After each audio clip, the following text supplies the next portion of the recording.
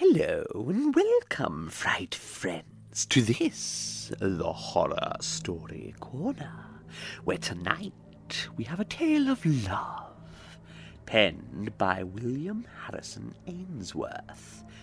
What's so terrifying about love, you might ask? Well, I suppose that depends on to whom you decide to dedicate yourself who you obsess over, and just what that overwhelming sensation of love might drive you to do. I present to you a cautionary graveyard yarn about a young woman who falls for someone who truly shouldn't be fallen for, and who willingly, blinded by love, offers up her very soul. I hope you enjoy The Spectre Bride. Hernswolf, at the close of the year 1655, was the resort of fashion and gaiety. The Baron of that name was the most powerful nobleman in Germany, and equally celebrated for the patriotic achievements of his sons and the beauty of his only daughter. The estate of Hernswolf, which was situated at the centre of the Black Forest, had been given to one of his ancestors by the gratitude of the nation, and descended, with other hereditary possessions, to the family of the present owner. It was a castellated Gothic mansion, built according to the fashion of the times, in the grandest style of architecture, and consisted principally of dark winding corridors and vaulted tapestry rooms, magnificent indeed in their size, but ill suited to private comfort, from the very circumstance of their dreary magnitude. A dark grove of pine and mountain ash encompassed the castle on every side, and threw an aspect of gloom around the scene, which was seldom enlivened by the cheering sunshine of heaven. The castle bells rung out a merry peal at the approach of a winter twilight, and the warder was stationed with his retinue on the battlements to announce the arrival of the company who were invited to share the amusements that reigned within the walls. The lady Clotilda, the Baron's only daughter, had but just attained her seventeenth year, and a brilliant assembly was invited to celebrate the birthday. The large vaulted apartments were thrown open for the reception of the numerous guests, and the gaieties of the evening had scarcely commenced when the clock from the dungeon tower was heard to strike with unusual solemnity and on the instant a tall stranger, arrayed in a deep suit of black, made his appearance in the ballroom. He bowed courteously on every side, but was received by all with the strictest reserve. No one knew who he was or whence he came, but it was evident from his appearance that he was a nobleman of the first rank, and though his introduction was accepted with distrust, he was treated by all with respect.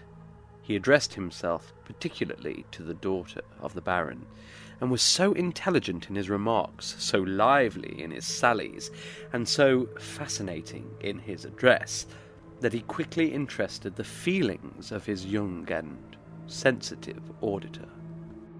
In fine, after some hesitation on the part of the host, who, with the rest of the company, was unable to approach the stranger with indifference, he was requested to remain a few days at the castle, an invitation which was cheerfully accepted. The dead of the night drew on, and when all had retired to rest, the dull, heavy bell was heard swinging to and fro in the grey tower, though there was scarcely a breath to move the forest trees. Many of the guests, when they met the next morning at the breakfast table, averred that there had been sounds of the most heavenly music while all persisted in affirming that they had heard awful noises. Proceeding, as it seemed, from the apartment which the stranger at the time occupied. He soon, however, made his appearance at the breakfast circle, and when the circumstances of the preceding night were alluded to, a dark smile of unutterable meaning played round his saturnine features, and then relapsed into an expression of the deepest melancholy. He addressed his conversation principally to Clotilda, and when he talked of the different climes he had visited, of the sunny regions of Italy, where the very air breathes the fragrance of flowers, and the summer breeze sighs over a land of sweets, when he spoke to her of those delicious countries, where the smile of the day sinks into the softer beauty of the night, and the loveliness of heaven is never for an instant obscured, he drew tears of regret from the bosom of his fair auditor, and for the first time she regretted that she was yet at home. Days rolled on, and every moment increased the fervour of the inexpressible sentiments with which the stranger had inspired her. He never discoursed of love, but he looked it in his language. In his manner in the insinuating tones of his voice, and in the slumbering softness of his smile. And when he found that he had succeeded in inspiring her with favourable sentiments, a sneer of the most diabolical meaning spoke for an instant and died again on his dark featured countenance. When he met her in the company of her parents, he was at once respectful and submissive, and it was only when alone with her in her ramble through the dark recesses of the forest that he assumed the guise of the more impassioned admirer. As he was sitting one evening with the Baron in the wainscoted apartment of the library, the conversation happened to turn upon supernatural agencies. The stranger remained reserved and mysterious during the discussion.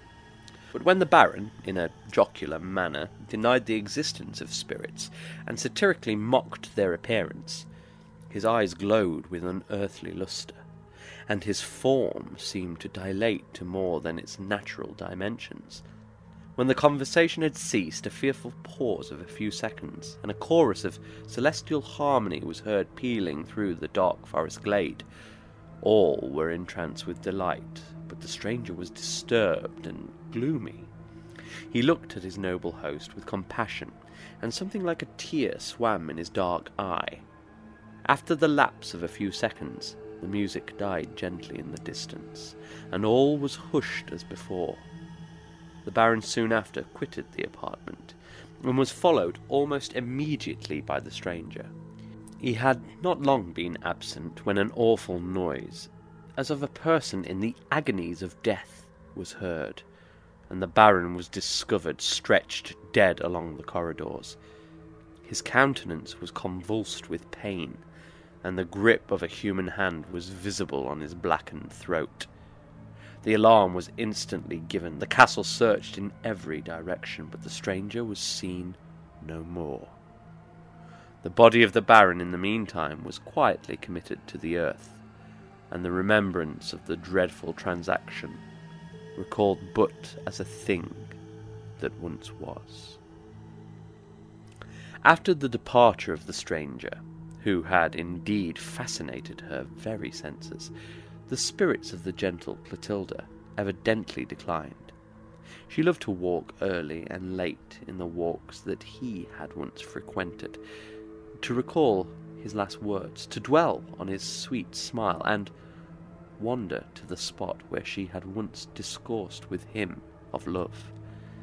She avoided all society, and never seemed to be happy but when left alone in the solitude of her chamber. It was then that she gave vent to her affliction in tears, and the love that the pride of maiden modesty concealed in public burst forth in the hours of privacy. So beauteous, yet so resigned was the fair mourner, that she seemed already an angel freed from the trammels of the world and prepared to take her flight to heaven. As she was, one summer evening, rambling to the sequestered spot that had been selected as her favourite residence, a slow step advanced towards her. She turned round, and to her infinite surprise discovered the stranger. He stepped gaily to her side and commenced an animated conversation. You left me, exclaimed the delighted girl, and I thought all happiness was fled from me forever. But you return, and shall we not again be happy?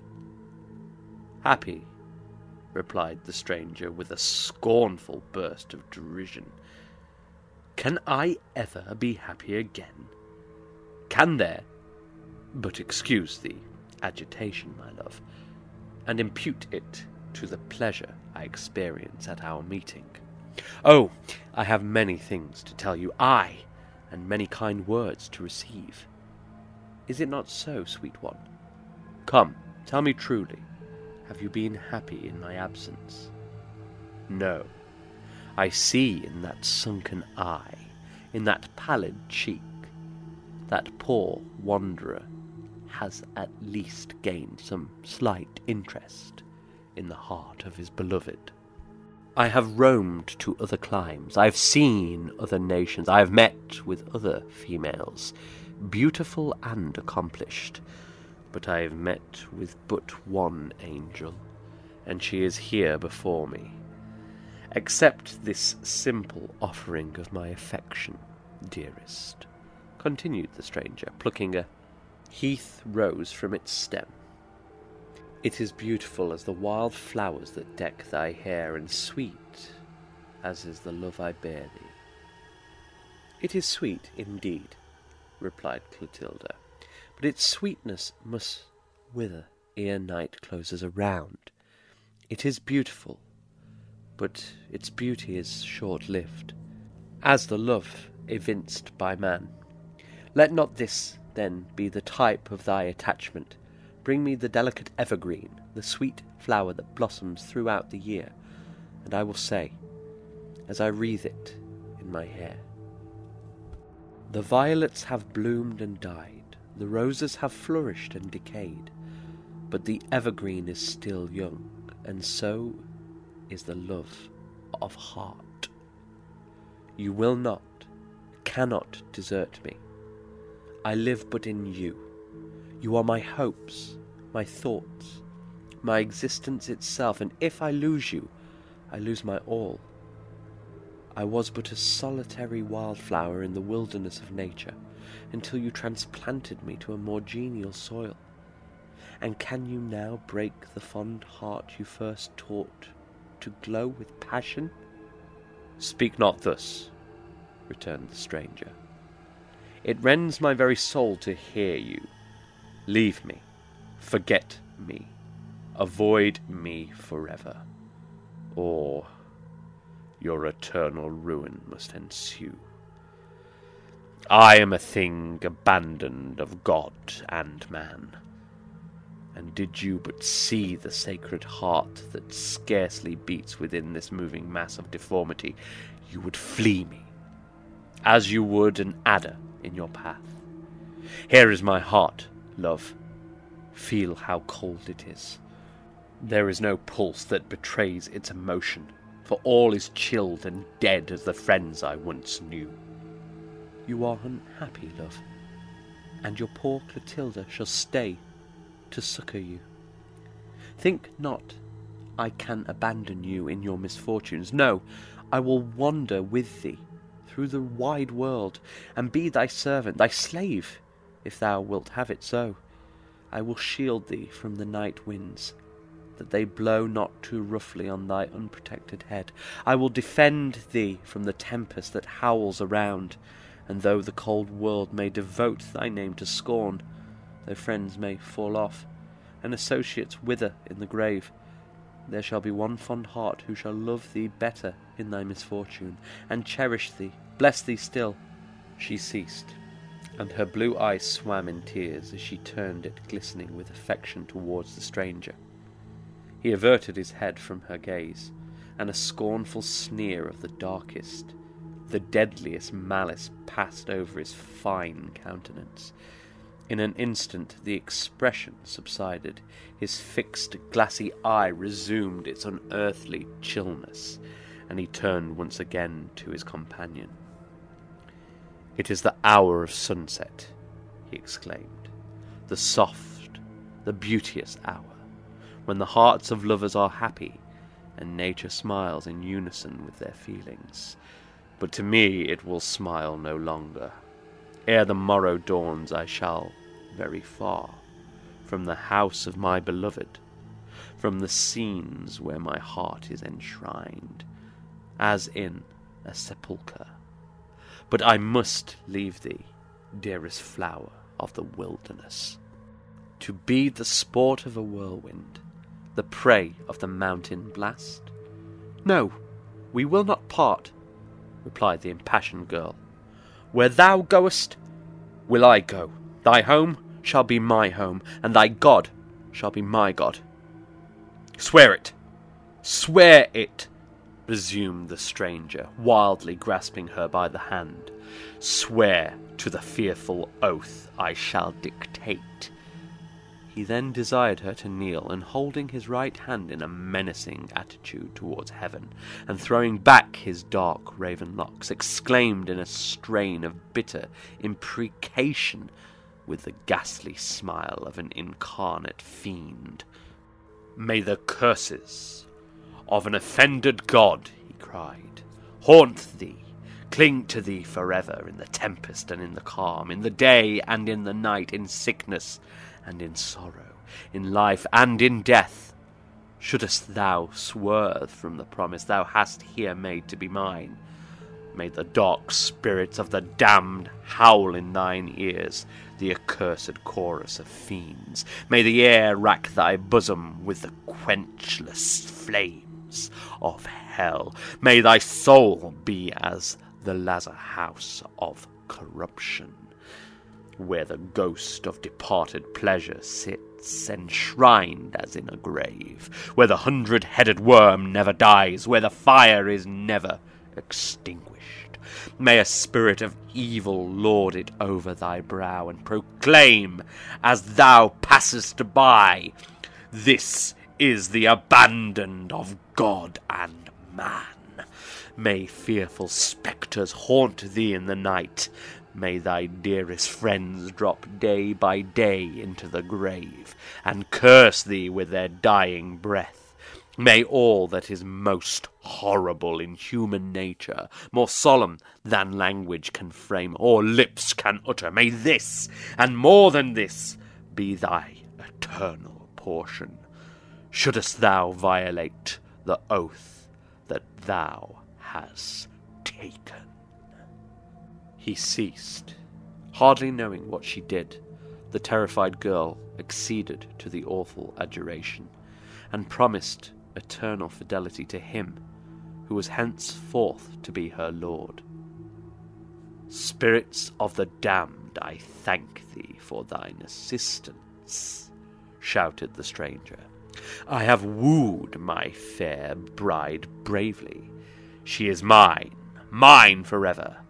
Ay, body and soul, both mine, mine in life and mine in death. What in tears, my sweet one? Ere yet the honeymoon is past? Why, indeed, thou hast cause for weeping. But when next we meet, we shall meet to sign the nuptial bond.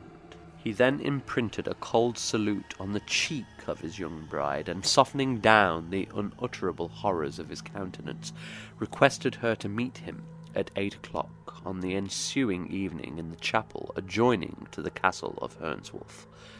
She turned round to him with a burning sigh, as if to implore protection from himself, but the stranger was gone. On entering the castle, she was observed to be impressed with deepest melancholy.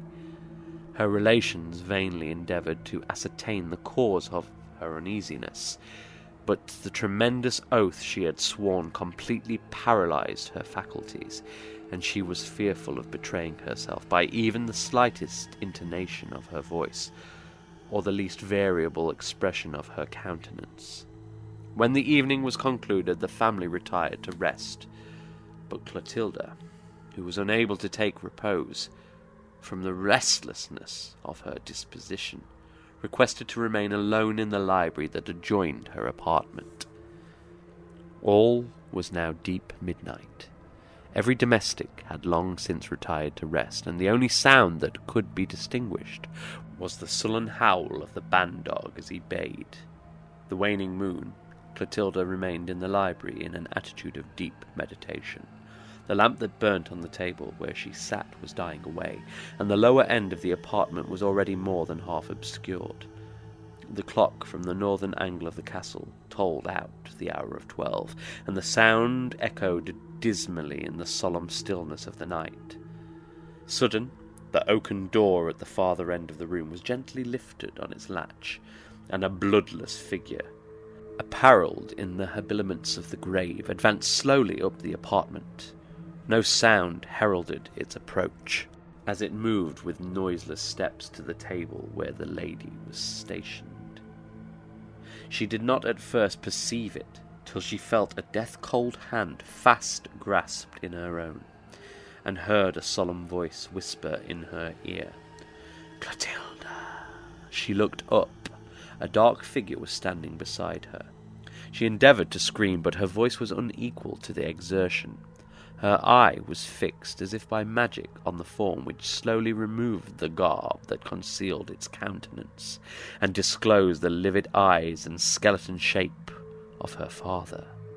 It seemed to gaze on her with pity and regret, and mournfully exclaimed, Clotilda, the dresses and the servants are ready.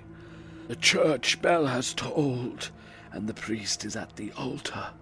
But where is the affianced bride? There is room for her in the grave, and tomorrow shall she be with me. Tomorrow, faltered out the distracted girl. The spirits of hell have registered it, and tomorrow must the bond be cancelled.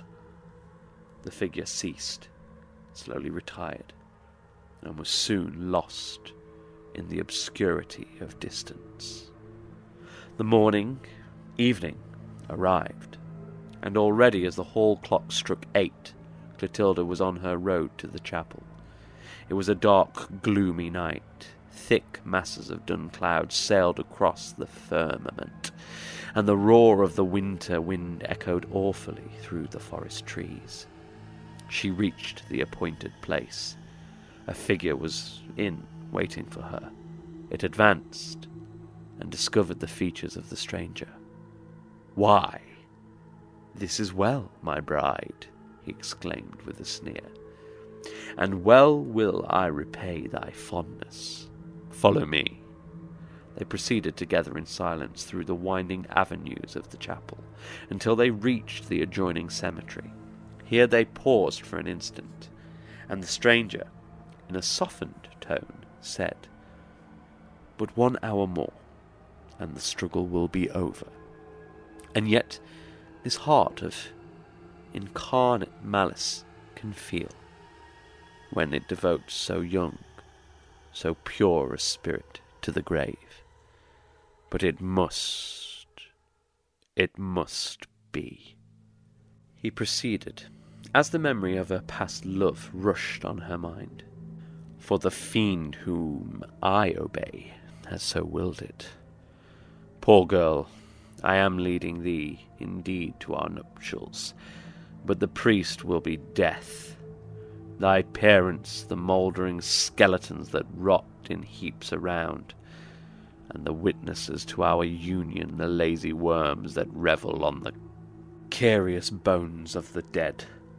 Come, my young bride, the priest is impatient for his victim. As they proceeded, a dim blue light moved swiftly before them, and displayed at the extremity of the churchyard the portals of a vault. It was open, and they entered it in silence. The hollow wind came rushing through the gloomy abode of the dead, and on every side were piled the mouldering remnants of coffins, which dropped piece by piece upon the damp mud. Every step they took was on a dead body, and the bleached bones rattled horribly beneath their feet. In the centre of the vault rose a heap of unburied skeletons, whereon was seated a figure too awful even for the darkest imagination to conceive. As they approached it, the hollow vault rung with a hellish peal of laughter, and every mouldering corpse seemed endued with unholy life. The stranger paused, and as he grasped his victim in his hand, One sigh burst from his heart, one tear glistened in his eye. It was but for an instant. The figure frowned awfully at his vacillation and waved his gaunt hand. The stranger advanced. He made certain mystic circles in the air, uttered unearthly words, and paused in excess of terror. On a sudden he raised his voice and wildly exclaimed, Spouse of the spirit of darkness, a few moments are yet thine, that thou mayest know to whom thou hast consigned thyself. I am the undying spirit of the wretch who cursed his Saviour on the cross. He looked at me in the closing hour of his existence, and that look hath not yet passed away. For I am cursed above all on earth. I am eternally condemned to hell, and I must cater for my master's taste till the world is parched, as is a scroll, and the heavens and the earth have passed away.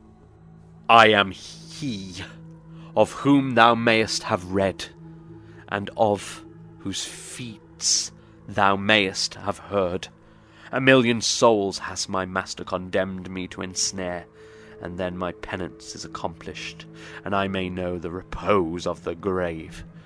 Thou art the thousandth soul that I have damned. I saw thee in thine hour of purity, and I marked thee at once for my home. Thy father did I murder for his temerity, and permitted to warn thee of thy fate. And myself have I beguiled for thy simplicity. The spell works bravely, and thou shalt soon see, my sweet one, to whom thou hast linked thine undying fortunes. For as long as the seasons shall move on their course of nature, as long as the lightning shall flash and thunders roll, thy penance shall be eternal. Look below and see to what thou art destined. She looked. The vaults split in a thousand different directions, the earth yawned asunder, and the roar of mighty waters was heard. A living ocean of molten fire glowed in the abyss beneath her, and blending with the shrieks of the damned and the triumphant shouts of the fiends, rendered horror more horrible than imagination. Ten millions of souls were writhing in the fiery flames, and as the boiling billows dashed them against the blackened rocks of adamant, they cursed with the blasphemies of despair, and each curse echoed in thunder across the wave. The stranger rushed towards his victim. For an instant he held her over the burning vista, looked fondly in her face, and wept as he were a child. This was but the impulse of a moment. Again he grasped her in his arms, dashed her from him with fury, and as her last parting glance was cast in kindness on his face, shouted aloud, not mine is the crime, but the religion that thou professest. For is it not said that there is a fire of eternity prepared for the souls of the wicked, and hast not thou incurred its torments? She, poor girl, heard not, heeded not the shouts of the blasphemer. Her delicate form bounded from rock to rock, over billow and over foam as she fell, the ocean lashed itself, as it were, in triumph to receive her soul, and as she sunk deep in the burning pit, ten thousand voices reverberated from the bottomless abyss. Spirit of evil, here indeed is an eternity of torments prepared for thee.